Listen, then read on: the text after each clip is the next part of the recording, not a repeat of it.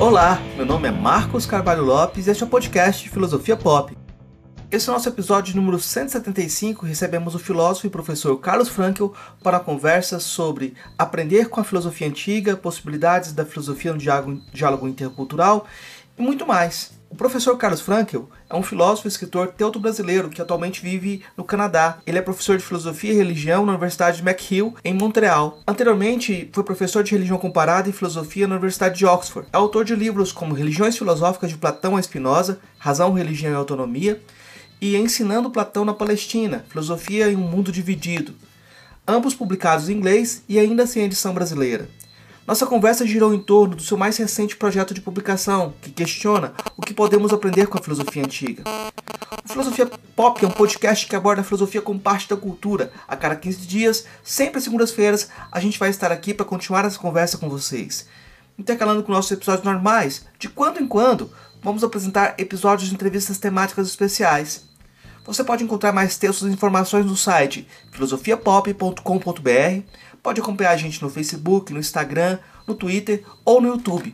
Nosso e-mail é contato@filosofiapop.com.br. Se gosta do conteúdo do podcast, apoie nossa campanha de financiamento coletivo no Catarse. O endereço é catarse.me barra filosofia pop.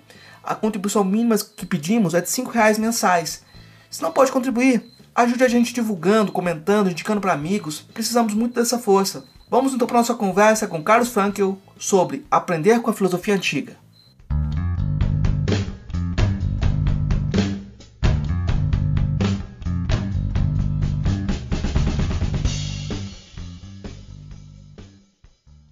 Hoje a gente recebe direto de Montreal o professor Carlos Frankel. Nossa conversa hoje é sobre se podemos aprender com a filosofia antiga. A primeira pergunta que eu vou fazer para o professor Carlos é sobre como esse projeto atual dele de dialogar com a filosofia antiga dialoga com o trabalho anterior dele sobre como ensinar Platão na Palestina, uh, um trabalho que ele pensou a filosofia de modo multicultural e até de que modo que essa abordagem intercultural da, da filosofia, de certa forma, traduz um pouco da própria trajetória biográfica dele. Professor Carlos, muito obrigado por essa possibilidade de conversar. Não, obrigado você, obrigado pelo convite e vai ser um grande prazer. Bom, então deixa eu começar talvez com a parte biográfica. Sim, e eu acho que você tem razão que realmente tem um vínculo entre a minha biografia e o, a minha curiosidade filosófica, os meus estudos, os meus projetos. É, como você falou, eu estou agora em Montreal, mas é, eu passei a minha infância entre a Alemanha e o Brasil. Então, eu nasci na Alemanha, mas meus pais, os dois, são brasileiros e eles foram refugiados políticos, quer dizer, eles tiveram que sair do Brasil nos anos 60, no fim dos anos 60, uh, uh, durante a ditadura militar. E uh, a minha mãe, ela era filha de um líder comunista que foi um grande colega do Carlos Marighella e organizou com ele a oposição contra a ditadura militar e participou no sequestro do embaixador americano em 1969. E os meus pais eram bem jovens, eles estudavam na USP na época, mas eles também estavam assim, eles eram de esquerda, também estavam na oposição, aí tiveram que sair do Brasil e eles contemplaram a possibilidade de fazer treinamento para guerrilha urbana em Cuba e passaram uma temporada em, em Cuba também, mas no fim eles eh, foram ao, ao, exílio, eles, eles, eles eh, se estabeleceram na Europa e eles foram para a Alemanha. Eh, e não foi assim um, um acidente essa escolha, mas os meus avós paternos, os pais do meu pai, eles são judeus alemães que tiveram que fugir da Alemanha e conseguiram refúgio no Brasil. Então foi um vai e volta de uma certa maneira. E aí eu nasci na Alemanha em 1971 e passei uma parte da minha infância lá. Uh, e em 1979, uh, ah, acho que você sabe, teve essa uma, uma anistia e os refugiados políticos podiam voltar para o Brasil sem medo de punição. E aí os meus pais resolveram voltar e a gente foi para o Brasil, uh, de uma cidadezinha pequena na Alemanha, a gente mudou para São Paulo. E para mim realmente foi um choque de culturas bem grande, né? Eu passei a minha infância naquela cidadezinha católica alemã, eu, pens eu pensava que eu era alemão, na verdade, e de um dia para o outro encontrei em São Paulo e, e, não me senti muito bem lá, porque a minha socialização já tinha, tinha eu tinha sido socializado na Alemanha e então o Brasil para mim foi bem. Eu falava português bastante bem já e a gente foi para uma escola uh, brasileira e a gente começou a falar português em casa. A gente mudou do alemão para o português e tudo isso.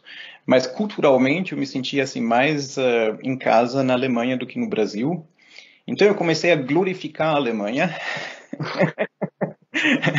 Sim, eu desenvolvi esse nacionalismo quando você está quando você, quando você está distante da sua pátria, você começa, você se transforma em nacionalista. E isso deu nos nervos dos meus avós judeus. Eles se confrontaram com a história judaica na Alemanha, então uh, teve um colapso do meu nacionalismo alemão nesse momento, quando eu tinha uns 12 anos. E desde então, de uma certa forma, eu fiquei assim entre essas culturas, essas tradições, é, Alemanha, o Brasil, eu, eu estudei em Berlim, depois fui para Jerusalém para continuar os meus estudos lá, e sempre assim nessa procura da minha identidade, quem que eu sou, alemão, brasileiro, judeu, uh, uh, e, e, realmente não me senti muito em casa em nenhuma, nenhum desses contextos, quer dizer, tinha essas tensões assim, eu tinha vínculos a esses três lugares, essas três tradições, mas uh, nenhum, assim, funcionava. Então, essa, essa questão de identidade, crise de identidade, e, uh, e acho que por isso eu acabei fazendo filosofia, não é? Quer dizer, eu não era cidadão nem da Alemanha, nem do Brasil, nem de Israel, nem judeu, nem nada, e então resolvi ser cidadão dessa República Universal da, dos, dos filósofos, de uma certa forma.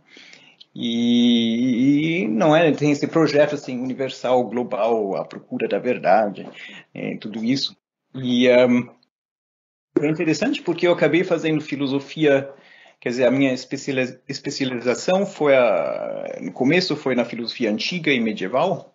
E realmente os filósofos medievais eles tinham essa ideia de uma filosofia como projeto global, não é, quer dizer, por exemplo, os filósofos judaicos ou muçulmanos da Idade Média ou cristãos, eles tinham que justificar, por exemplo, por que eles estavam estudando o Aristóteles ou Platão, que são nem judeus, nem muçulmanos, nem cristãos, mas são fazem parte do paganismo, não? São filósofos paganos. Então, qual qual é a justificativa? Por que um judeu pode estudar o Aristóteles? E eles falavam, bom, a verdade é universal uh, e não não não, não importa quem estabelecer a verdade, não é? Se, se, ele, se essa pessoa estabeleceu a verdade, então a gente vai receber essa verdade dele, é, seja ele quem for, pagão, muçulmano, judeu, cristão, mas eles tinham essa ideia do, da, da, filosofia como projeto universal e eu gostei dessa ideia, assim, eu pensei, bom, como membro da universidade, a gente é como a gente é, é, é, como essa herança, não é da, da, dessa, dessa ideia. Nós somos, a gente faz parte de uma comunidade global de estudiosos que uh, colaboram para se aproximar da verdade cultural, natural uh, e tudo isso. Então foi foi um pouco, vamos dizer, esse o, o vínculo entre as peregrinações biográficas da minha família e a, a minha chegada à filosofia e às questões filosóficas. Uh, agora, de lá para esse livro, então, o meu primeiro livro foi um livro assim bastante técnico, né? uh, baseado na minha dissertação, uh, que eu escrevi em hebraico. eu tinha essa ambição, na época, isso foi nos anos 90, né? Na época eu tinha essa ambição de demonstrar para mim, para os outros, que eu tinha essa capacidade de escrever em hebraico e fazer parte da, da, da, da sociedade israelense. Uh, uh, então, eu escrevi essa dissertação em hebraico e publiquei o meu primeiro livro baseado na dissertação em hebraico sobre a filosofia medieval, realmente, Maimônides, Ibn Rushd, eh, então judaica, uh, muçulmana, em árabe, em hebraico. E foi esse o meu primeiro livro, é uma contribuição bastante assim técnica, filosófica, filológica. E o meu segundo livro já foi um pouco mais abrangente, vamos dizer, ah, e então lá eu voltei para a filosofia antiga, comecei a estudar Platão e Aristóteles, ah, ah, e foi até o século XVII, Spinoza, e tentei entender como eles fizeram a integração entre o racionalismo e a, e a, e a religião, qual, quais qual são os vínculos que eles constroem entre a filosofia e a revelação, vamos dizer, a, a Aristóteles e a Bíblia e tudo isso, uh, como eles reconciliam uh, essas duas tradições, que, entre, entre, as quais tem bastante tensão. então, eu me, eu me interessei pelos mecanismos de reconciliação dessas, dessas, duas, uh, dessas duas tradições. Mas, uh, ao mesmo tempo, aí comecei a ensinar na, na, na Universidade McGill, uh, e isso foi, quer dizer, isso não faz parte da minha biografia, simplesmente obtive um, um, um trabalho, quer dizer, eles me ofereceram uma professura nessa universidade, que é uma universidade boa, mas eu nunca tinha, nunca fui para a América do Norte antes da, da minha entrevista na então foi um contexto completamente desconhecido para mim uh, e também bastante distante de todos os outros lugares do Brasil, da Alemanha, de Israel, uh, como um espaço neutro de uma certa forma. E me estabeleci aqui uh, e desde 2000 estou aqui ensinando filosofia e também religião nessa universidade. E um, e uma das questões que eu me pus é se a filosofia, se ela pode oferecer algo também fora do, da, do espaço acadêmico, da universidade. Se ela tem algo, se ela oferece ferramentas que são úteis também para as pessoas que não fazem parte dessa comunidade acadêmica, uh, uh, que não são professores ou estudantes. Uh, e foi, esse a, foi essa a motivação para começar esse projeto que, no fim, se articulou nesse livro que você mencionou, Ensinar Platão na Palestina, ah, que é um livro baseado em cinco ensaios sobre projetos que eu fiz em várias partes do mundo e comecei realmente na Palestina, que deu título a esse livro. Ah, então eu fui a lugares, eu escolhi lugares que se localizam em, em zonas de conflito, vamos dizer. Israel e Palestina, por exemplo, ah, eu também fui para a Indonésia, ah, para uma universidade muçulmana na Indonésia, ah, e, e fiz um, dei um seminário lá. eu fui para o Brasil, passei uma temporada em Salvador em 2010 e fui para as escolas. e isso foi na época que eles estavam implementando essa lei que foi passada no Brasil em 2008, que fez o ensino da filosofia obrigatório no né? É, o filosofia e sociologia. Não sei se essa lei ainda existe ou se foi revocada. É, no novo ensino médio eles estão retirando é, a obrigatoriedade. É, mas é, se a gente for conversar sobre o novo ensino médio é um é assustador, não? Talvez melhor não, então. É, mas, mas na época, não é. Quer dizer, é, foi essa época na qual a popularidade do Lula estava assim, no auge, e, então tinha muita, muito entusiasmo pela filosofia, e eles estavam tentando implementar essa lei. Então eu fui a várias escolas é, em Salvador. Uh, então eu fui para Salvador, passei, passei alguns meses lá. Uh, uh, e, então fui para escolas públicas para ver como se passava a implementação dessa dessa lei e o que os alunos, especialmente em bairros pobres, vão fazer com a filosofia, não é qual qual é o uso, qual é o valor da filosofia nesse nesse contexto.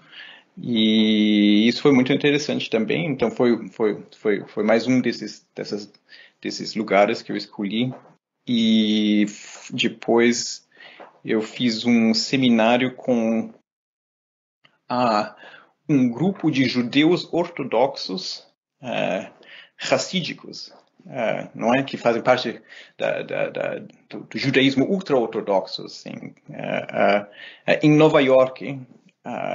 Mas o que caracterizava esse grupo é que eles eles tinham abandonado a fé.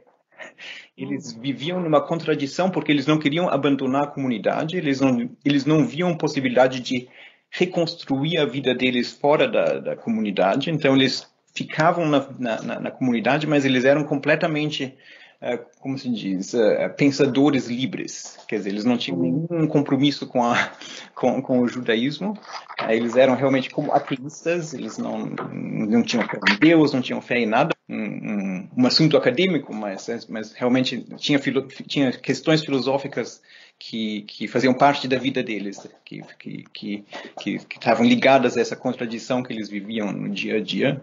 A, a minha destinação final foi um, um grupo de indígenas uh, Mohawk, uh, um, quer dizer, eles fazem parte da, do grupo dos Iroquois, aqui na América do Norte, uh, quer dizer, um, numa reserva uh, entre os Estados Unidos e o Canadá. E como você sabe, os indígenas no, na América do Norte, eles realmente eles são as vítimas da história da, da, da, da, colonização e eles têm um projeto de soberanidade, eles querem ser soberanos, eles querem reconquistar a soberania. Então tem um monte de questões políticas que eles estão refletindo então a gente a gente tentou usar as ferramentas da filosofia política para para ajudar essa reflexão que eles uh, que eles que eles estavam fazendo lá. Uh, e então esse esse livro é, é um livro assim mais escrito para um público assim maior, não é, não, não, não para os especialistas, e é um relato desses dessas aventuras filosóficas pelo mundo. E é um ensaio de Quer dizer, eu, eu tento mostrar que a filosofia realmente pode uh, ter um papel útil, um papel positivo, pode, pode ter uma função positiva nesses, nesses contextos de crise, de conflito, de, de problemas, e pode ajudar a reflexão que já está enraizada nesses contextos. Eu fiquei pensando o que significa para você falar em português sobre filosofia, né? Porque é, a gente diz que é, tem aquela, aquela velha máxima de que ficar adulto é se reconciliar com os pais, né? Filosofar em português deve ter uma sensação diferente também. Mas todo, tudo que você falou tem um sentido muito mais forte, talvez agora, no momento em que o Brasil está tentando se reconstruir de certa forma, né? Porque a gente teve todo um, um momento de é, de retrocesso, vamos dizer assim, para a gente não dar mais corda para essa para essa pauta, mas a ideia de que você descrevia um mundo dividido. Parece que essa fissura virou um, um a gente caiu em tribalismos praticamente, né? E a filosofia surge como uma possibilidade, uma necessidade, na verdade, de a gente tentar construir contextos de conversação, né? E eu vou começar perguntando sobre a, a pergunta que é a chave do, do, do projeto também. Podemos aprender, aprender algo com a filosofia antiga? É, acho que essa é a chave. E, mas é, eu acho que aí, já incluindo nessa questão, as divisões que você faz, que são muito boas, a dicotomia que geralmente jogam a filosofia antiga, né? ou os filósofos em geral, como uhum. gurus da autoajuda ou os vamos estudar aqueles caras preconceituosos, brancos mortos poderosos que não nos deixam falar e trazem todo o preconceito, né? É, como sair dessa dicotomia? Como salvar as aparências, né? Uhum, sim, claro.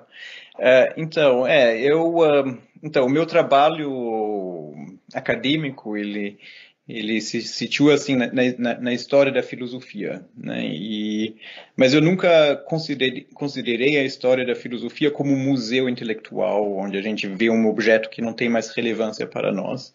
E o meu livro anterior, uh, Ensinar Platão na Palestina, já mostra que realmente eu, eu, eu, não é a gente a gente lia Platão com, com os, com, os, meus alunos palestinenses mas mas não porque a gente tinha essa curiosidade histórica pelo Platão mas a gente queria ver se Platão pode nos ensinar algo que continua relevante e pode ajudar na, na situação atual.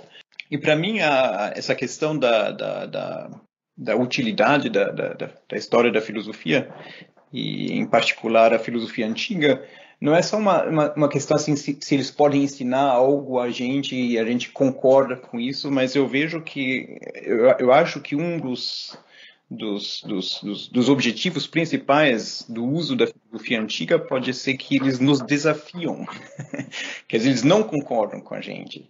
Uh, eles, uh, eles, eles, eles, colocam desafios a nós, eles uh, subvertem as nossas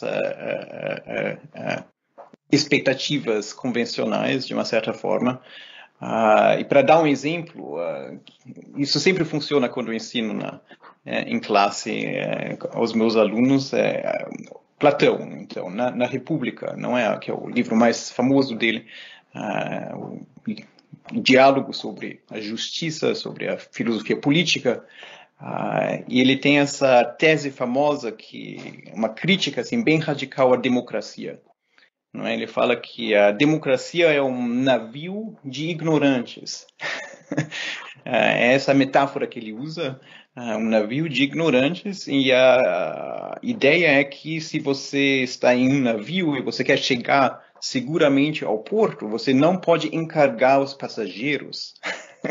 você tem que encargar o capitão, porque ele tem a ciência, ele tem a sabedoria, ele tem a, a compreensão técnica da navegação que vai fazer que você chegue seguramente ao, ao porto. E os passageiros não têm essa, essa, essa, essa, essa, essa ciência, eles não sabem como fazer para navegar o navio seguramente. E Platão pensa que é a mesma coisa com o Estado, não é? você não pode pôr o povo no poder, você não pode encargar o povo, o demos em, em grego, mas você tem que encargar, você tem que pôr no poder os especialistas que realmente têm essa sabedoria política, que realmente têm é, um conhecimento do bom para, uh, para, para, para, para os uh, para os membros da sociedade que realmente sabem o que é uma vida boa, o que é uma sociedade boa e podem implementar esse esse saber. Uh, e os meus estudantes eles sempre ficam em choque quando eles leem essa, essa crítica da, da democracia do Platão, porque eles cresceram com essa ideia que a democracia liberal é o melhor sistema do mundo e não tem alternativa, e não, não tem crítica, e não tem nenhuma questão que. Então eles ficam assim chocados, mas também é uma oportunidade para eles de defender as convicções deles. Né? Quer dizer, eles cresceram com essas convicções, mas eles não refletiram sobre essas convicções. Então a leitura de Platão, especialmente dessa crítica da democracia de Platão é uma oportunidade para eles de refletir sobre as suas convicções de base. Uh, acho que a única vez que os meus alunos não tiveram muito entusiasmo para defender a democracia foi em 2017. E, por acaso, a gente acabou uh, lendo essa crítica da democracia do Platão na mesma semana que o Donald Trump foi inaugurado como presidente dos Estados Unidos e todos os meus alunos, eu tinha 100, 120 alunos num, num curso de introdução à filosofia política e praticamente todos se perguntaram se realmente talvez o Platão tinha razão e realmente a democracia liberal não funciona porque ela põe no poder gente como Donald Trump, depois Jair Bolsonaro.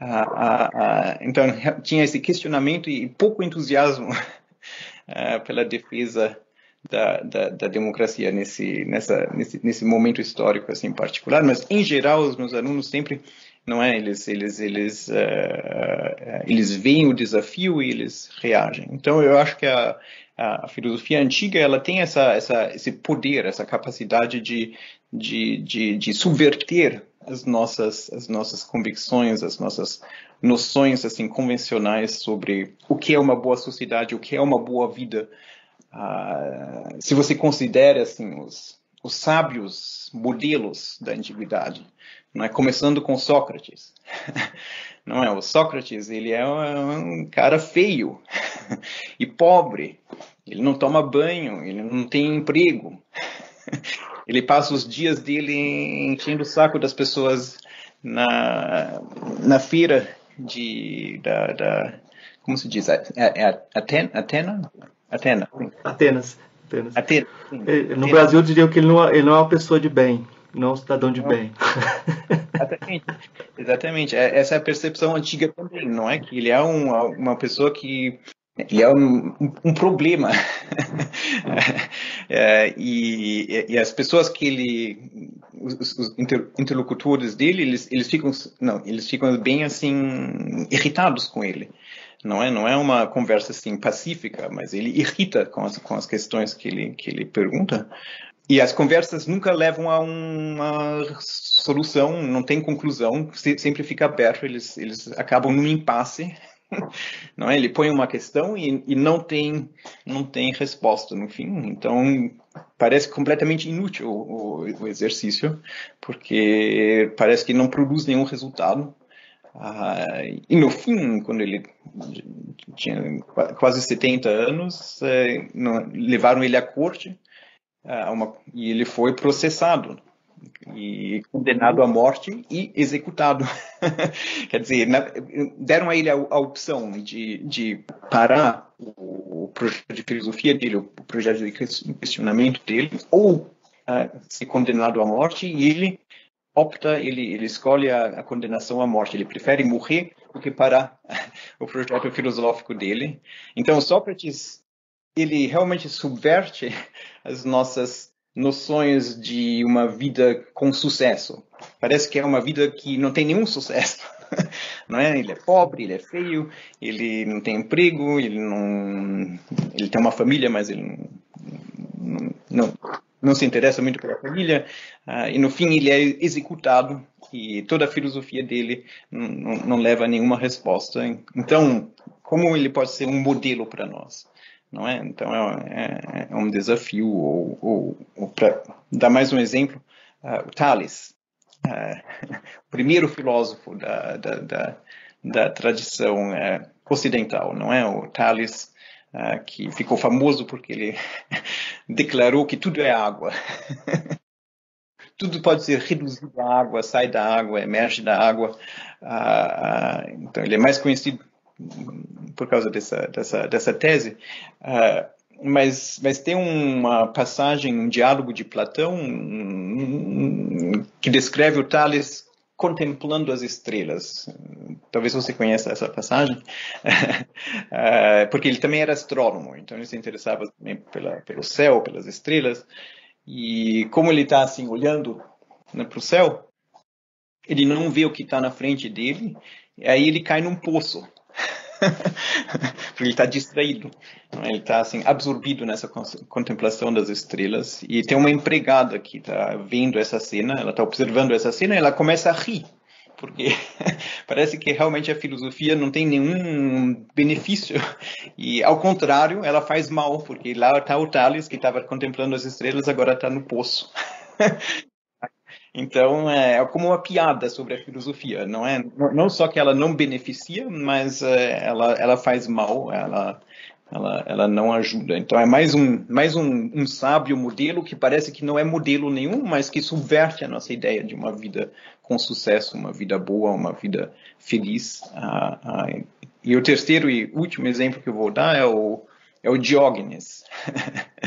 ah, Diógenes de Sinope, uh, que foi o, um dos fundadores do cin, cinismo, cinismo, cinismo uh, antigo. Uh, e tem um monte de histórias sobre Diógenes, um monte de anedotas sobre o Diógenes. E, mas ele, então, dizem que ele vivia num barril. Não é? Ele não tinha casa, ele era com, como se diz, um, um, um o sem teto? Sem teto, isso, é. Um clochard. Um, e, e, e, então, mas, mas queria es, expressar, exprimir um des, esse desprezo pela, pela riqueza, pelo poder. Ele queria mostrar que ele não precisava de, de nada disso. Então, ele morava nesse barril e, uh, e um dia ele estava tomando sol do lado do barril dele. Uh, e Alexandre o Grande chega lá, quer dizer, Alexandre o imperador, não é? O Alexandre, Alexandre da Macedônia, o homem mais poderoso do mundo que construiu o império maior na antiguidade, o maior império na antiguidade. Uh, e ele estava curioso assim, quem é esse Diógenes que parece que vive essa vida autossuficiente, não precisa de nada. Uh, uh, então ele tinha essa curiosidade, ele foi lá visitar o Diógenes que estava tomando sol e ele falou para o Diógenes: eh, Você pode pedir o que você quiser e eu vou realizar o seu pedido, o seu, o seu, o seu desejo. Eu sou o homem mais poderoso do mundo, então vou realizar o seu desejo. O Diógenes, o que, que ele diz ao Alexandre, ao Alexandre o Grande? Ele diz que ah, ah, você está bloqueando o sol. Você pode sair daí, por favor? Porque eu posso continuar a tomar meu banho de sol. E foi esse o pedido dele, não, é, não tinha nada que ele queria. Ah, então, mais uma vez, é um, é, um, é um modelo que subverte não é, a nossa, as nossas ideias de o que faz uma vida feliz, o, né, o poder, a riqueza. Quer dizer, nada disso, na verdade, é, é necessário se a gente, ah, se a gente segue a, a, a filosofia é, desses filósofos antigos. Então, uma das atrações para mim é, é, é, essa subversão, não é? Eu acho que tem uma coisa muito interessante toda vez que alguém vai falar de filosofia antiga, a gente pode dizer assim: me explique seu Sócrates, eu direi quem você é, como você lida com a filosofia antiga. E você traz um, um, o Sócrates como uma chave muito interessante, porque é, ele é aquele que questiona e o que mantém o questionamento aberto, tem a coragem de continuar perguntando, inclusive para aqueles que seriam cancelados, né? O Sócrates hoje em dia, na sua descrição, é aquele que mantém o diálogo aberto, né? Sim. Mas uhum. a gente tem um problema, e esse problema é como debater com, aquele, com aqueles que não nos oferecem razões. Então, o, o Sócrates realmente ele é ele, ele é o, o inimigo do dogmatismo. É? Quer dizer, ele é um falibilista, vamos dizer. Quer dizer, ele, ele até o fim da vida dele, ele reconhece que ele pode estar errado e ele está pronto a refletir mais uma vez, sobre, por exemplo, sobre a, sobre a justiça. Bem no finzinho da vida dele, uh, ele, os, os, amigos dele oferecem a ele de fugir da cadeia. Não é? Ele, ele já foi condenado à morte, ele agora está na cadeia esperando a execução. E ele tem amigos que têm esse poder, tem, tem, tem dinheiro para para uh, para conseguir que ele possa fugir. Uh, e ele diz: Bom, então vamos pensar o que, que é a justiça e será que a justiça me permite fugir? Porque eu pensei muito sobre a justiça toda a minha vida, mas eu estou disposto a recomeçar essa reflexão, porque talvez eu, está, eu estou errado, talvez estava errado toda a minha vida, e vamos ver o que vai dar. Então ele recomeça, ele reabre não é essa essa essa, essa discussão Uh, e no fim, ele, a conclusão dele é que ele não tem permissão, que a justiça não permite ele fugir da cadeia, que ele realmente tem que aceitar essa, essa, essa execução. Uh, uh, e, mas, mas, mas, mas, mas demonstra essa abertura que você, que você, da qual você falou, não é? Que, que até, até bem o fim da vida dele, ele está disposto a reabrir a, a conversa. E é uma conversa que não tem que não tem fim para ele. Uh, uh, quer dizer, não importa quantas vezes você já refletiu e examinou as suas, as suas convicções, você nunca pode ter certeza absoluta que elas estejam, elas estejam corretas.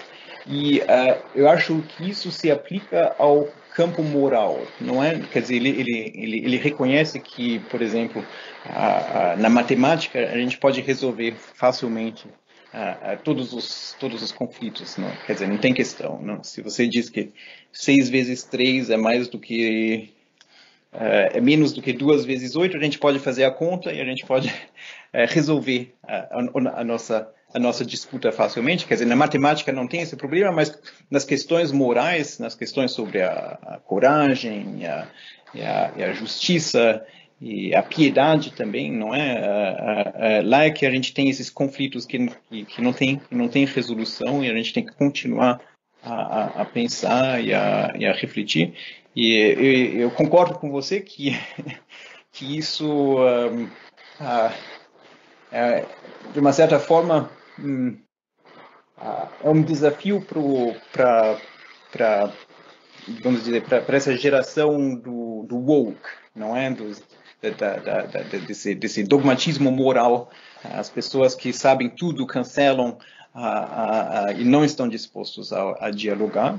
E eu pensei sobre isso. Eu acho que de uma certa forma Uh, uh, os meus estudantes que são woke, vamos dizer, que são assim progressivos e, e moralistas, não é? Eu tenho estudantes como esses. Uh, eu acho que eles têm uma certa simpatia pelo Sócrates, porque ele tem um, um lado woke. Ele quer despertar as pessoas à, à, à, à, reflexão moral. Não é? Tem essa ideia da, da como se diz, é, ele, é, ele, ele pica, não é? Ele é como uma, uma mosca que, que se senta que, que, que, que, que, chega no cavalo e pica o cavalo e, e desperta o cavalo. Do, do, do, o cavalo estava tava como dormindo. Ele vem lá e desperta e, e, e, isso que ele faz com a, com a, com a população, com, com os cidadãos da, da, de, de Atenas. Ele desperta eles para conversação moral. Ah, então, é uma, de uma certa é, forma, é um, ele pode ser o pai do, do woke. e, e também é verdade que ele, que ele é bastante assim. Um, como se diz, ele, ele não faz uh, exclusões arbitrárias. Quer dizer, todo mundo pode participar dessa, dessa conversação e todo mundo pode fazer parte do universo moral dele, quer dizer, não é ligado à, à, raça, ou sexo, ou, orientação sexual, ou idade, quer dizer, todo mundo está convidado a participar, todo mundo pode fazer parte do universo moral dele, não tem exclusão arbitrária, é, mas do outro lado, a inclusão também não é automática. Quer, quer dizer, isso é uma é uma diferença que os que os alunos eles uh, se reparam que realmente tem uma diferença porque uh, uh, ninguém é excluído do universo moral de Sócrates, mas ninguém também é incluído automaticamente. Você realmente tem que fazer esse esforço de clarificar as suas noções morais de base não é? é só, só, só se você faz esse, esse esforço você você é incluído no universo moral dele, senão você fica fica fora porque é uma questão da da, da alma. Ele não se interessa tanto uh, pelo corpo, mas ele, ele quer, quer dizer, a virtude a, e a sabedoria são características da, da alma e se você não desenvolve essas características, então você não faz parte da comunidade socrática. Ah, então é, é uma comunidade aberta, mas baseada nessas, nesses ideais de, de sabedoria e virtude. Uma coisa que você chama atenção é como esse, os filósofos antigos não eram é, subservientes à cultura que eles viviam. Né? Eles questionavam a cultura que eles viviam de forma radical. Né? Nesse uhum. sentido, com certeza, o mais radical me parece que é Platão, porque para ele não tem jeito. Ou a gente muda tudo hoje reforma toda a cultura, ou a gente vai continuar tendo perspectivas corrompidas, né? E uhum. Platão é muito, como você no começo deu exemplo de Platão, o Platão é muito chamativo, mas ele é bem problemático também, porque ele traz uma perspectiva muito poderosa para a filosofia e esse poder da filosofia às vezes uh, esbarra no autoritarismo, né? Como é que você vê a figura do Platão também nesse projeto? Sim, sim. É, então, o, o, o Platão é, ele foi um, um, aluno do Sócrates uh, e ele se define como aluno do Sócrates e uh, o Sócrates não escreveu nada, né? Uh, se ele fosse, quer dizer, nenhuma universidade moderna aceitaria o Sócrates porque ele não tem nenhuma publicação, ele não tem currículo lattes, vamos dizer. Ele não tem, uh, então, ele não publicou nada, não deixou nada, mas, mas o que a gente sabe sobre, sobre Sócrates, na verdade, a gente sabe através do Platão e algumas outras fontes, mas Platão é a fonte mais, mais importante. E o Sócrates deixou uma impressão muito profunda no, no, no Platão e, e, então e o Platão escreveu esses diálogos, não é, nos quais o Sócrates é a, é a figura principal. Um, e tem alguns diálogos que os estudiosos pensam que realmente refletem a filosofia do, do Sócrates e a gente pode aprender algo sobre o Sócrates histórico deles. Uh, mas uh, durante toda a vida dele, o Platão continua a usar o Sócrates como uh, uma figura assim central nos diálogos dele e assim ele reconhece quanto ele deve ao Sócrates mas, do outro lado, Platão também é bastante crítico e transforma a filosofia do Sócrates. E uh, acho que uma coisa que ele vê, acho que foi um traumatismo realmente para Platão, foi essa falha do projeto do Sócrates. Não é? O Sócrates ele queria converter os cidadãos de Atenas uh, através desse questionamento que ele praticava.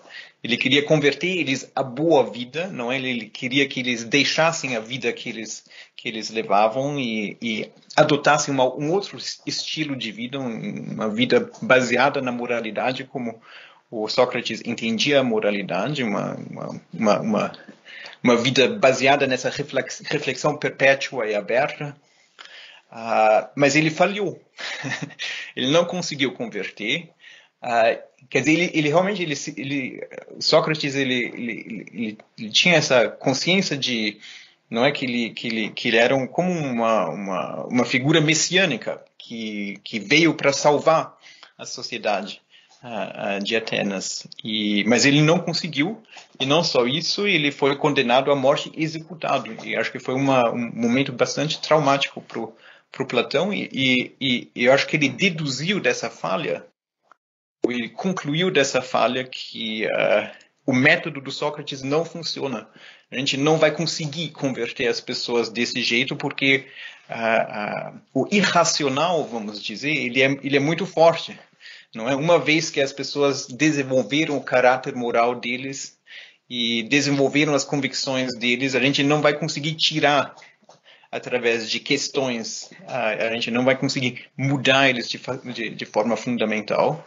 Uh, quer dizer, eles já estão perdidos, eles são, eles foram corrompidos pela sociedade. Quer dizer, não é, ele, ele não culpabiliza as pessoas, uh, ele culpabiliza as, as, estruturas sociais e uh, as instituições educativas e culturais.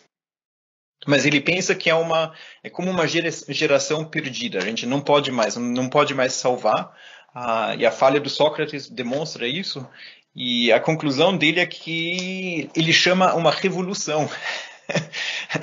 Quer dizer, você não pode uh, uh, uh, reformar a cidade, vamos dizer, a polis, a, a comunidade, através da filosofia. Você tem que você tem que destruir a comunidade e construir uma comunidade nova baseada nos ideais da filosofia. E realmente ele ele ele é bem radical. Quer dizer é, tem essa crítica da, da, da democracia que eu, que eu tinha mencionado antes mas uh, ele também realmente faz essa essa ele chama a revolução e ele dá detalhes bastante gráficos vamos dizer. Ele fala que uh, todos os cidadãos uh, que têm mais de 10 anos têm que ser têm que ser mandados ao exílio quer dizer, a gente uh, elimina eles da, da comunidade.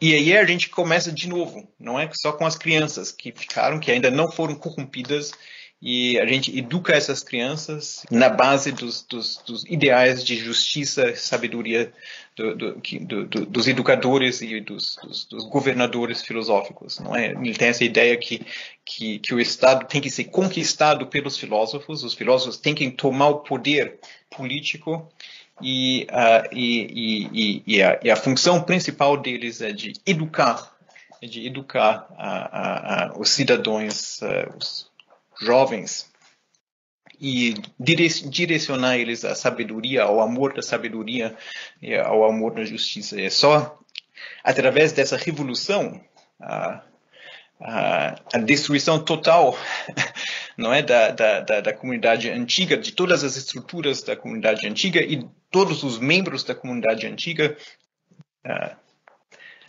com exceção dos, das crianças, ah, ah, então, é só a partir dessa destruição que a reconstrução pode, pode, pode começar. Ah, e então, quer dizer, é um, é um método bastante diferente do método socrático, não é? Então, Sócrates ele, ele, ele questionava e o Platão quer destruir e reconstruir. e realmente, como você disse, a gente imediatamente tem essa associação com totalitarismo, não é? E, e realmente o Platão é um, é um defendor, def, defendedor do totalitarismo.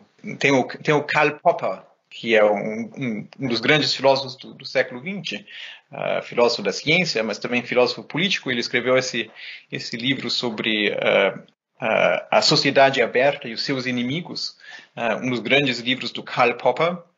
Uh, e foi um livro que ele escreveu nos anos 40. Ele era um filósofo judeu uh, que vinha da, da, da Áustria, uh, de Viena, e então ele passou pelo nazismo e stalinismo e tudo isso. mas mas um dos fundadores, um, um dos principais inimigos da, da, da sociedade aberta é o Platão, realmente.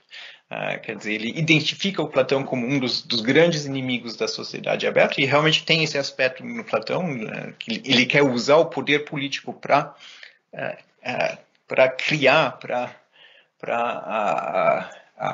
educar cidadãos bons e felizes. quer dizer, é, é, quer dizer, um, uma proposta bastante, bastante radical e, e, bastante problemática, né? Sem, sem, sem questão. Uhum. É, eu, eu, acho que é, a força vem da talvez da ambiguidade, né? Então é, tem uma força muito grande nas imagens também, né? A gente fica preso uhum. nas imagens do Platão. Uhum. Mas eu, eu não sei, acho que a gente não vai conseguir ter tempo de percorrer todo o caminho da antiguidade de todos os autores, mas um dos exemplos que você dá que chama mais atenção, é, para mim pelo menos, é a comparação dos cínicos com os punks. Né? Eu, acho, eu acho essa comparação fantástica, porque eu tenho um amigo uh, punk, graduado em filosofia, né? e ele sempre uh, muito fã do, dos cínicos. Ele sempre foi muito fã dos cínicos, né? Uh, uhum. Mas o paradoxo também é a questão da autenticidade acaba sendo o mote dos punks, né? Assim, você tem um, alguma coisa meio moderna ali de, do eu verdadeiro, né? Como é que você vê essa relação? Queria que você uhum. explicasse para os nossos ouvintes. Sim, então, uh, é, então eu, eu, eu, eu, tinha descrito um pouco o, o Diógenes de Sinope, que é um dos fundadores do cinismo uh, antigo, Uh, e a gente já vê que ele escolhe um modo de vida que não é bem burguês, vamos dizer. uh, uh, e é, eu, eu, escrevi um ensaio assim pequeno um, sobre os cínicos como os, os, punks do mundo antigo, punks of the ancient world. Um, e eu acho que é uma, é uma, é uma comparação assim legítima, porque eles foi assim que eles foram percebidos, não é? Porque uh, eles, assim, de maneira sistemática, transgressavam as convenções sociais. E isso fazia parte da filosofia deles. Uh, uh, quer dizer, tem, um, tem como um lado performativo também, artístico. Eles, eles fazem performance, eles, eles transformam a vida deles numa, numa performance de, de, de transgressão. Ah, e, como eu falei, tem, tem muitas histórias sobre o Diógenes em particular, mas também sobre outros filósofos cínicos ah, que ilustram essa, essa, esse aspecto da, da, da, filosofia deles. Quer dizer, pra, eles, eles, viviam a filosofia deles. Não é? Isso é também uma característica da, da filosofia antiga, que a filosofia não era, não era só uma preocupação acadêmica, mas que a, os filósofos viviam a filosofia deles. Então, essa transgressão fazia parte da, da, da filosofia dos, dos, dos, cínicos. E, uh, então, uh, uh, a gente tem muitas descrições do, do Diógenes que ele, assim, come em público, que era considerado não é, era considerado assim, não, não, o, que uma pessoa de bem não faz, mas não, não só que ele comia em público, ele também defecava em público, ele também masturbava em público. Quer dizer, ele fazia todas essas coisas que não se faziam uh, em público para uh, realmente confrontar as pessoas com, para chocar, não era? Era uma, era uma estratégia de choque. E, e ao mesmo tempo, os cínicos, uh, uh, e Diógenes em particular, eles, eles se consider, consideravam também, como Platão, eles se consider, consider, consideravam discípulos, uh, alunos do Sócrates. Quer dizer, eles, eles, eles se viam como continuando o projeto do Sócrates, mas enquanto Sócrates usava questões e provocações assim intelectuais, eles realmente usavam essa terapia de choque para para forçar as pessoas à reflexão. Quer dizer, o Sócrates também queria forçar as pessoas à reflexão, mas com as questões dele, eles trans, faziam transgressão para obrigar as pessoas a se autoquestionar. Uh, e um, ah, o que é interessante é que eu acho que os cínicos eles tentam fornecer uma resposta à pergunta que o Sócrates deixou aberta, não é? Quer dizer, o Sócrates ele, ele não ele não aceita a moralidade convencional tradicional. Ah, quer dizer, ele não, ele não tem nenhum respeito pela moralidade tradicional ah, ah, convencional. ele questiona não é? Ele não, não quer dizer, ele não, ele não aceita a autoridade da, da tradição. Uh, e é a mesma coisa com os cínicos, eles também não aceitam a autoridade da tradição, eles transgressam tudo. Uh, mas o Sócrates deixa essa pergunta aberta, quer dizer, ele não, ele não tem um substituto. Quer dizer, ele questiona a autoridade da, da, da, da, da moralidade tradicional, mas ele não tem um substituto, ele não tem nada que ele pode pôr no lugar dessa, dessa moralidade tradicional. E os cínicos, sim, eu acho que eles, eles pensam que eles conseguiram identificar o código moral verdadeiro universal. E uh, eles são os primeiros que recorrem à natureza como autoridade moral a moralidade, as normas morais têm que ser baseadas na natureza. Quer dizer, o Sócrates ele estava procurando a sabedoria moral na cidade, na cultura em Atenas, mas eles falam não, não, não procurem Atenas, não procurem Esparta, não procurem São Paulo, não procurem em Montreal. Quer dizer, não é na, na, na cultura, não é na cidade, não é não é na comunidade humana que a gente vai é, achar essas normas ah, ah, ah, que são realmente válidas, mas é na natureza, é que a gente vai achar essas normas, e a gente tem que seguir a, a autoridade moral da natureza. Tá? E é esse o substituto à moralidade convencional. Então, do ponto de vista deles, eles não eram punks que transgressavam, mas eles eram uh, aqueles que que, que viviam a verdadeira moralidade, que é a moralidade da natureza, que eles, eles, eles seguiam os impulsos da natureza deles. Quando o Diógenes queria masturbar, ele masturbava porque essa a, natureza humana é assim. Não é? A gente tem esses, esses impulsos, então ele, ele não via razão não não uh, uh, uh, responder a esse impulso e, e, e uh, quando ele queria comer, ele comia. Quando ele tinha que fazer cocô, ele fazia.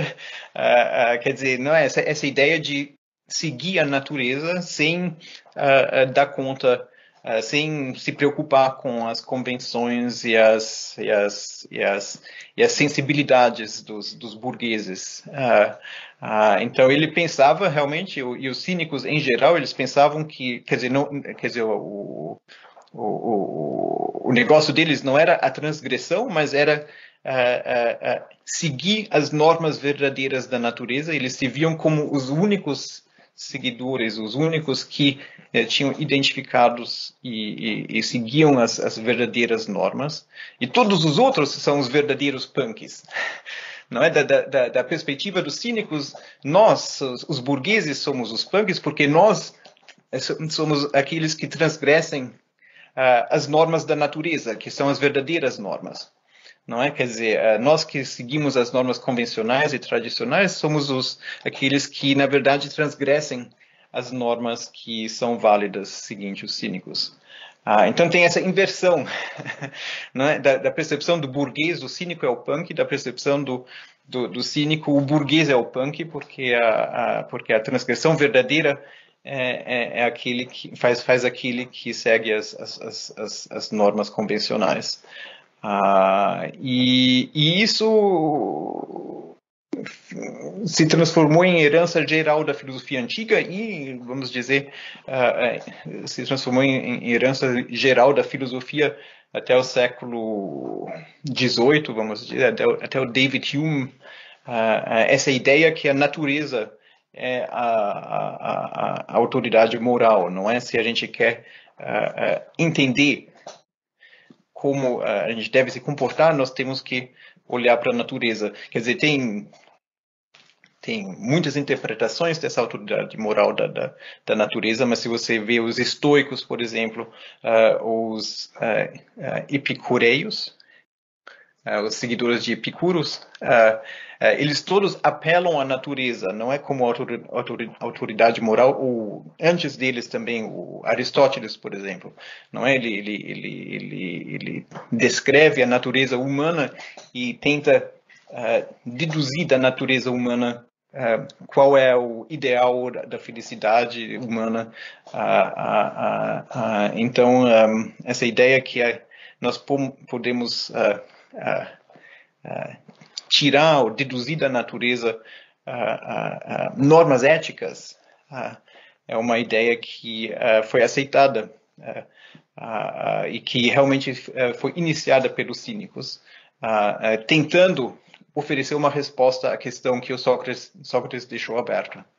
Não é? quer dizer, a questão do código moral que pode substituir o código convencional tradicional. Isso é fantástico. Eu tenho um, amigo, é, o Severino Goenha, que é um filósofo moçambicano, e ele se inspira muito no, no, Diógenes. Quando você pergunta o que é filosofia, ele está com a lanterna na mão procurando o homem ainda. então é muito curioso como ele usa Diógenes para não cair no estereótipo que fazem da filosofia africana também e para uhum. as forças que também nacionalisticamente querem uma imagem da filosofia africana como ele trazendo a imagem do é, da nação, etc. Eu acho muito interessante como ele usa o Diógenes. Mas eu queria fazer uma pergunta que vai fechar um pouco nossa conversa geral, porque a gente não vai uhum. conseguir seguir passo a passo, mas eu acho que esse mote da natureza é um bom mote para a gente pensar, porque o que, que era a natureza para os antigos, essa relação com o cosmos, acaba se significando com o universo judaico-cristão e toda a nossa relação com a natureza hoje talvez seja diferente quando a gente pensa que a natureza é recurso para a gente utilizar. Os animais estão aí para serem submetidos ao homem, tudo que está em volta é para ser submetido ao homem. Então, a, a segunda parte do seu livro vai trazer questões interessantes sobre os limites da aplicabilidade desse contexto do mundo antigo para nós, né? E talvez também uma questão que, que também ela está sempre é, como no, próxima da gente, que trabalha com ciências humanas, que é aquela que se você não fizer esse questionamento, não procurar trazer algum tipo de questionamento, as pessoas vão encontrar respostas de todo, de todo modo.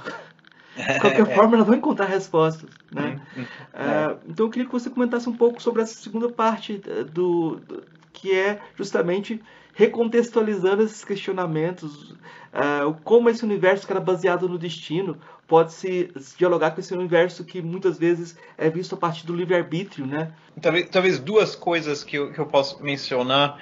Um, então, eu, eu, não, eu não me vejo como defendendo nenhuma das, das, filosofias antigas, na verdade. Quer dizer, eu tenho essa curiosidade, eu acho que tem muita coisa boa que a gente pode aprender deles, mas eu acho que também tem muita coisa problemática, não é? Então, a gente falou do, do autoritarismo do Platão, uh, o totalitarismo do Platão, uh, e uh, esse apelo à natureza, muitas vezes,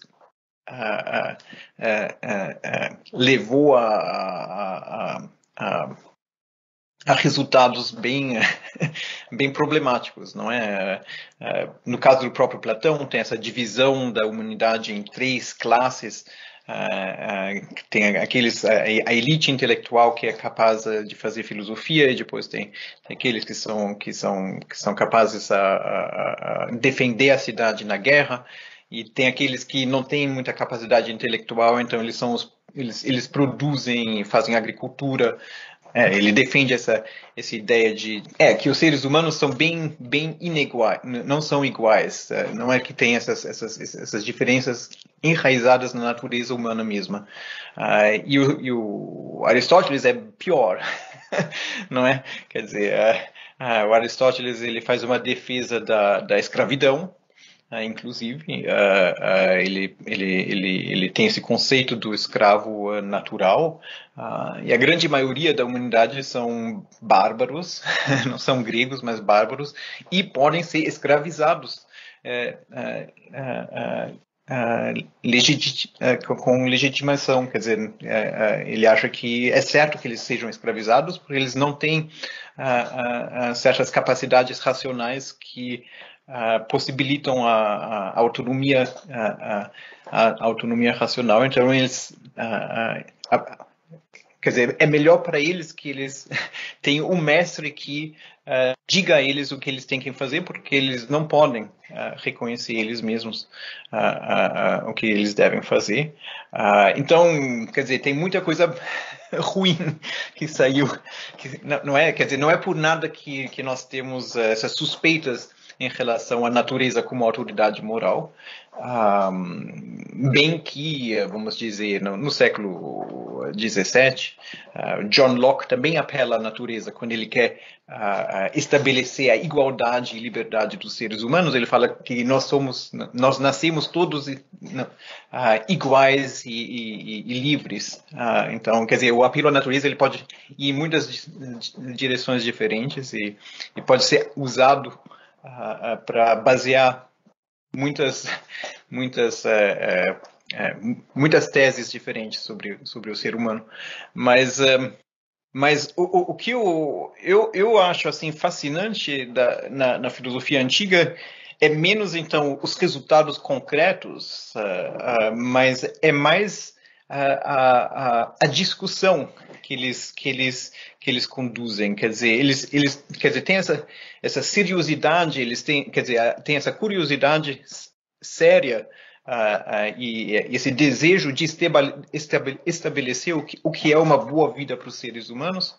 Uh, e tem essa disputa, quer dizer, o, o, que a gente aprende deles não é uma, um dogma, na verdade, não é uma não é uma, uma resposta assim dogmática, mas é uma série de respostas que estão em conflito e uh, a gente vê que realmente não é fácil determinar uh, não é qual, qual é a boa resposta e uh, a gente pode utilizar isso como um modelo para reativar um tipo de conversa na nossa sociedade sobre o que é uma vida boa para o indivíduo, mas também o que é uma, uma sociedade boa, porque essas duas questões, em geral, estão vinculadas na, na filosofia antiga. A gente viu isso em Platão, não é? Ele, ele pensa que realmente é a estrutura social e cultural que determina as convicções dos, dos cidadãos. Um, então, tem esse vínculo entre a vida boa do indivíduo e da sociedade.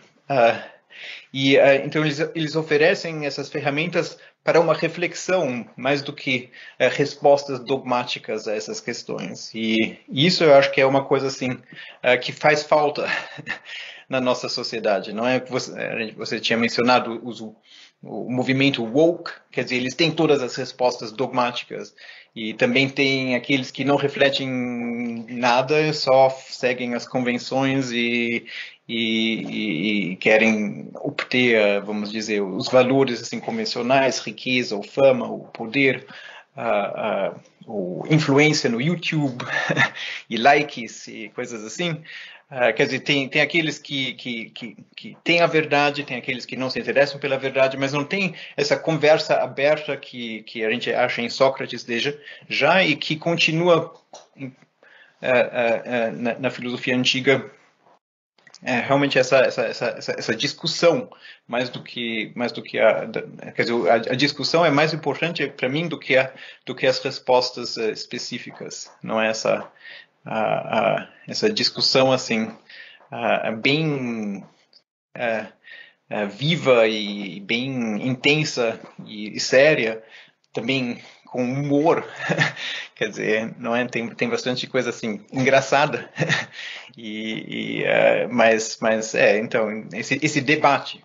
E eu acho que um, um dos pensadores uh, modernos que que defende essa ideia de debate uh, e que vê o valor da, do debate é o John Stuart Mill que também é uma inspiração para mim. A, John Stuart Mill uh, no, no, século XIX, não é? O, o, filósofo britânico que faz parte do utilitarismo, vamos dizer, um, um discípulo do Bentham, uh, mas ele, uh, no, no, no, livro dele sobre a liberdade, On Liberty, ele defende essa ideia do, do, do, do, do debate social e também essa, essa ideia de experimentos com a vida a gente tem que experimentar com a vida, com, com, com modos não convencionais de vida.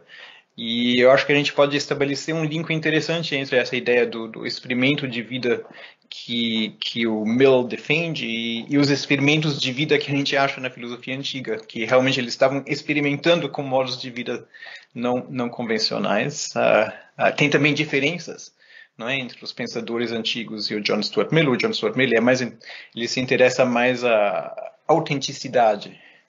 Não é essa ideia que cada indivíduo tem uma série de talentos individuais e capacidades individuais e paixões individuais e a gente tem que desenvolver um modo de vida que caiba ao indivíduo. Quer dizer, a gente não pode seguir os, os modos convencionais porque cada um tem as suas próprias características. Uh, os filósofos antigos eles não têm esse interesse, eles, eles não se interessam pela, pela autenticidade, eles querem realmente definir o que é a vida boa para todos os seres humanos, mas mesmo assim eles acabam uh, uh, desenvolvendo modelos não convencionais, experimentos não convencionais com a vida. E isso eu acho interessante, isso eu acho estimulante, mais do que os resultados concretos ou as respostas concretas que eles deram. Isso é fantástico. Eu, eu fiquei lembrando aqui de um colega, desse colega meu, punk, o Eduardo. É, eu, falo, ele, ele, eu comentei com ele sobre o problema da autenticidade, como certos governos gangster, governantes gangster aí, eles fazem as coisas todas erradas, mas são autênticos. Eles reclamam essa autenticidade. Então tem que tomar cuidado um pouco sobre o modelo, porque a, a gente pode cair nisso. Professor, eu tenho três perguntinhas que eu faço para todos os convidados. São uhum. perguntas uhum. singelas, daquelas o senhor responde como o senhor acha melhor. São perguntas mais simples. A primeira é: o que é filosofia? O que é a filosofia? É, eu acho que para mim realmente é, é, deu para ver nessa conversa que é, eu me inspiro no modelo socrático do, do questionamento do falibilismo, do, da conversa sem, sem término. Ah, ah, então, para mim, a filosofia é isso, e eu acho que é, tem um. É, como um, um, um é, é, é, como uma atitude filosófica, assim,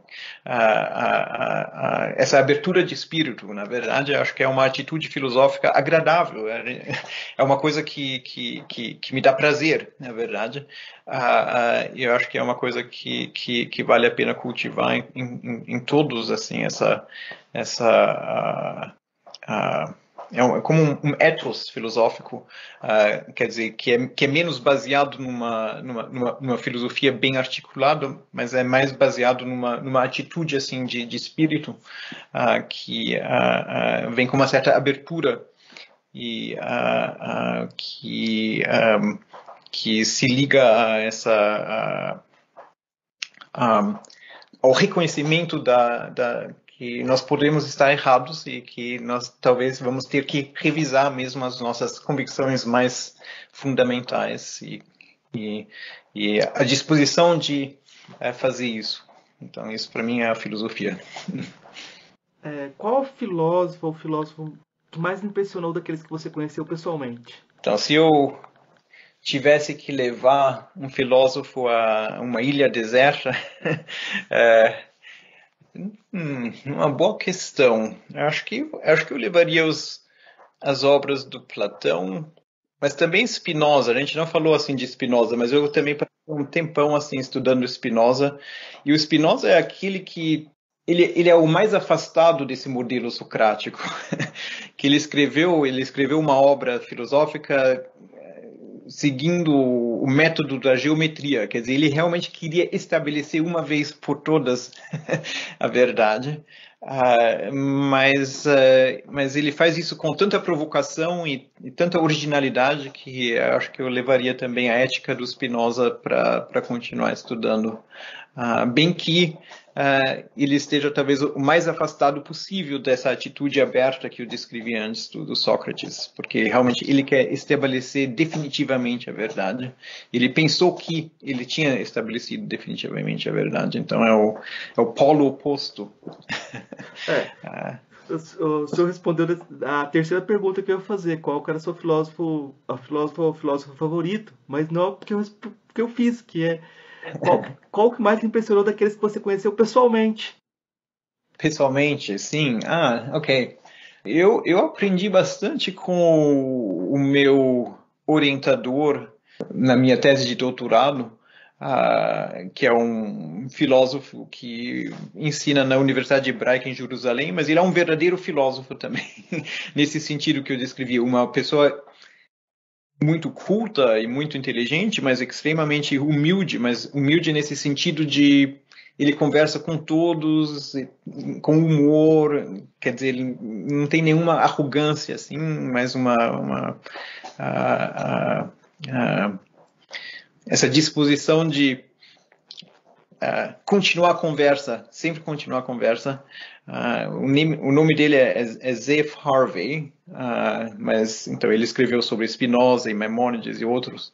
Uh, mas, mas, mas, mas eu acho que ele me ensinou também a, a, a ler os filósofos antigos, a, a, a conversar com a história da filosofia como uma tradição está não morta, mas viva, mas que continua, uh, que, que, continua sendo uh, interessante e uh, então eu, ele, ele, é um modelo. Eu tenho um colega também aqui na McGill com o qual eu converso bastante e ele é esse tipo gênio, como se diz, um pródigo. quer dizer, ele ele frequentava uh, seminários de matemática avançada quando tinha 12 anos, quer dizer, é, tem essa capacidade intelectual uh, fora do comum.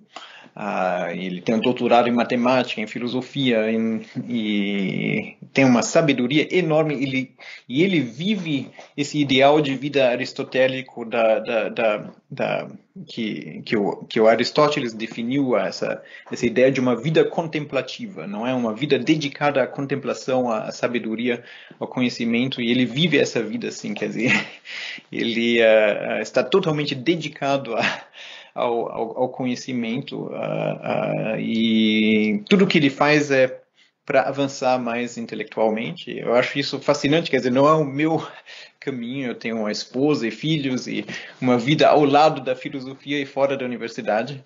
Uh, uh, bem que eu também tenho as minhas conversas filosóficas com os meus filhos. Quer dizer, não é, eu não, eu não, separo assim de maneira categórica, mas eu também gosto de uh, sair não é da conversa às vezes e fazer parte da, da vida da vida do dia a dia da, da, da, vida mais convencional. Mas ele realmente ele não tem filho ele mora no escritório dele uh, e ele ilustra de uma certa forma essa dedicação total à, à verdade e à sabedoria.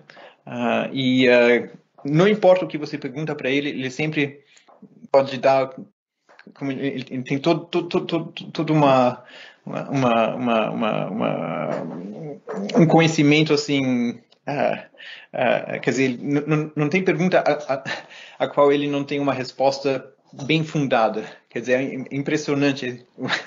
Qual que é o nome dele?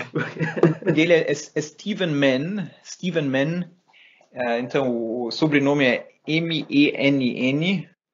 E também tem um outro lado dele que, que eu acho é, fascinante. Então, ele, ele tem essa capacidade enorme, mas ele já faz uns 20 anos que ele está trabalhando, que ele está produzindo um só livro, que é um comentário, é, é, vai ser o comentário definitivo uh, sobre a metafísica do Aristóteles.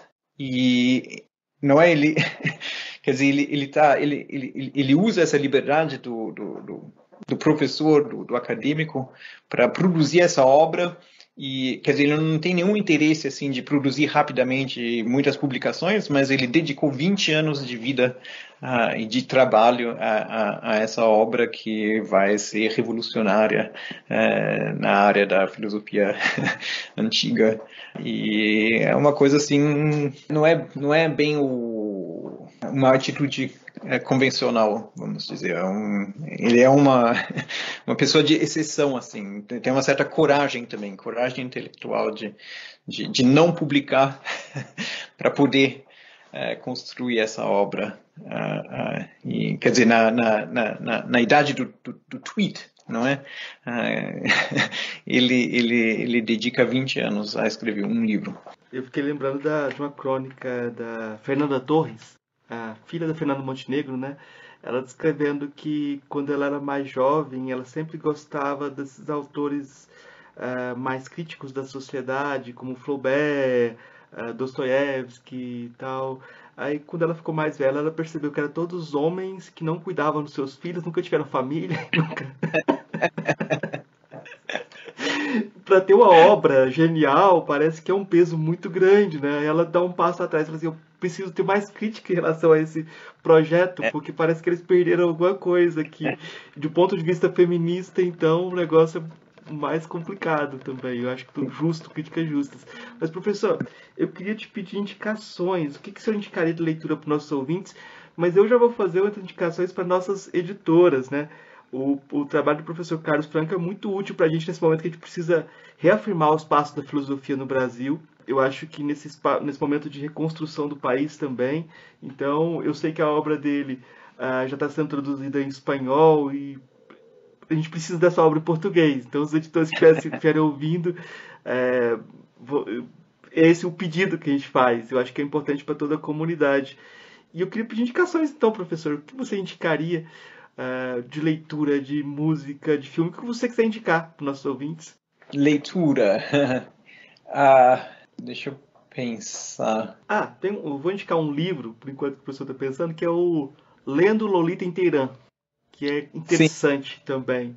Né? Já que a gente não tem em português o Estando Platão, Platão na Palestina, Então... Sim, sim, foi uma, um pouco uma inspiração, o título realmente do, do Nabokov. Não? Sim, sim, mas eu acho que essa dimensão intercultural do, das reflexões eu acho muito interessante também.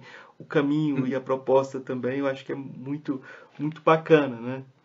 É, uhum. É, e aí eu estou também chamando atenção para talvez é, eu acho que quem não conhece podia dar uma olhada no trabalho do Richard Hort e sobre poesia, né? contingência, ironia e solidariedade sobre o lugar da literatura, porque eu acho uhum. que é uhum. uma coisa muito interessante no, na, na, perspectiva de como ver a filosofia, né?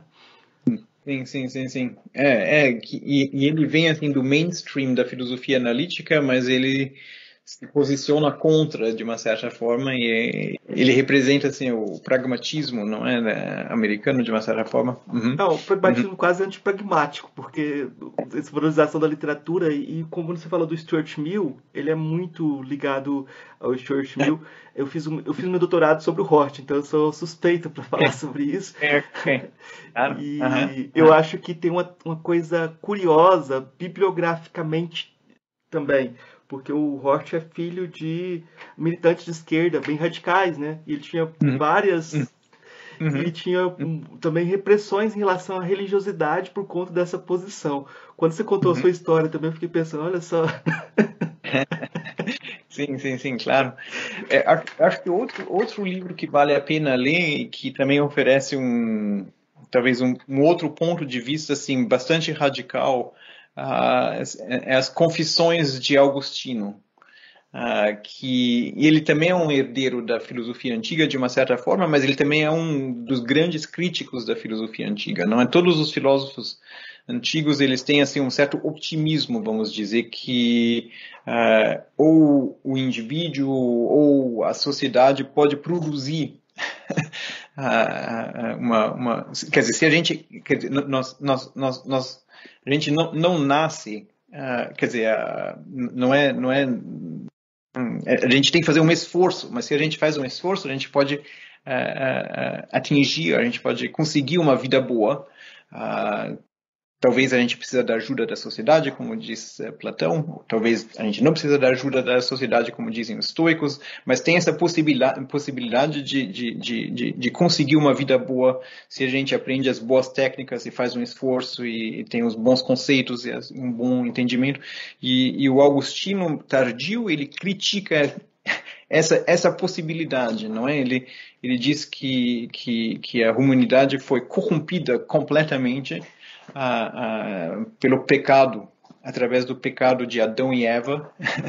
não é? Tem essa, essa, essa ideia do, do pecado origi original que corrompeu a humanidade completamente e nós não temos as ferramentas para sair do, da corrupção e nós precisamos da graça de Deus para tirar a gente dessa, dessa, dessa, dessa, dessa situação de corrupção e pecado.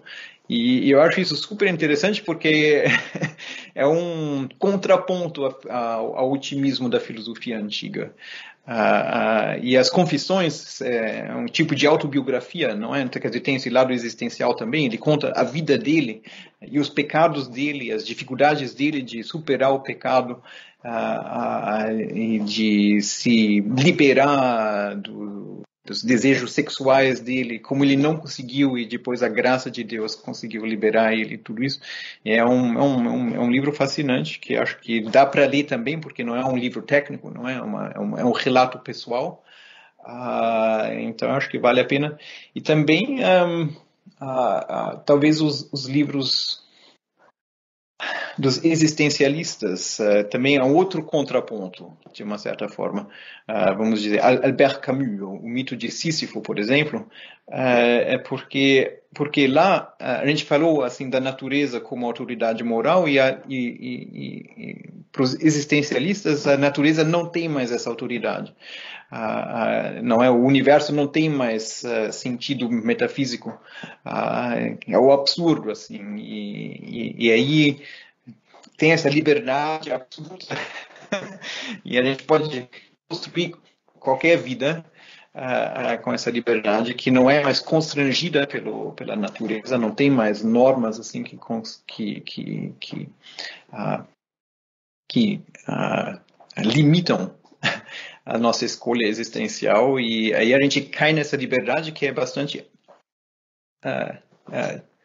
não é muito confortável na verdade e também acho que ilustra um outro lado do, do, do, do desse, desse, projeto, não é? Quando a gente já não tem mais a, a natureza para guiar, para servir como guia. Ah, então tem, o, tem, tem os filósofos antigos que seguem a natureza de uma certa forma, tem o, o Augustino que diz que só Deus, a graça de Deus pode, pode nos salvar. Tem os existencialistas que, que, que pregam esse, essa liberdade absoluta uh, uh, sem nenhuma norma para orientar a gente. Uh, então, acho que talvez essa, são, são essas as leituras em torno dessas questões que a gente conversou, sobre as quais a gente conversou. É, é como se você continuasse o livro agora, porque você passou pela antiguidade e agora já jogou mais possibilidades de interpretação. Muito bom, professor.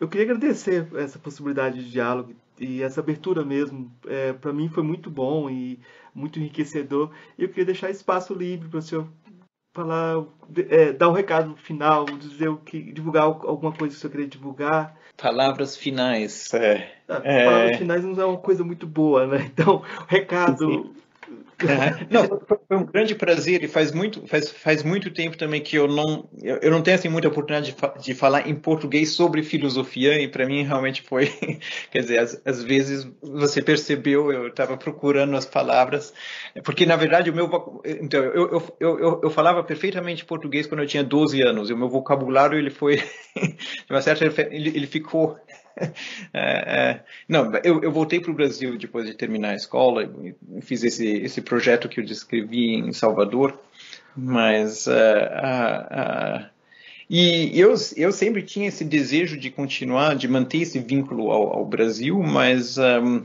é, é, complicado. Minha esposa tem medo de ir ao Brasil, porque sempre tem alguma coisa, criminalidade ou zika, ou outra coisa. Então a gente não consegue ir. Uh, uh, uh, eu, eu, gostaria de ir mais, eu, eu, tenho família, meu pai mora lá, mora em Minas Gerais, agora minha irmã também. mas. e eu nunca assim consegui estabelecer um vínculo assim mais uh, estável com uma, com uma universidade no Brasil. Uh, então isso fica, quer dizer, eu tenho esse interesse, mas uh, se, se, alguém quiser desenvolver alguma coisa, com prazer. Mas foi um grande prazer e, e realmente gostei de conversar sobre esses assuntos com você e, em português e para um, uma audiência brasileira. É, que ótimo. Ei, gostou do nosso episódio? Apoie a gente lá no Catarse, é só 5 reais por mês, o preço de um cafezinho. Ajuda a gente a continuar divulgando a filosofia no Brasil. catarse.me barra filosofia underline pop.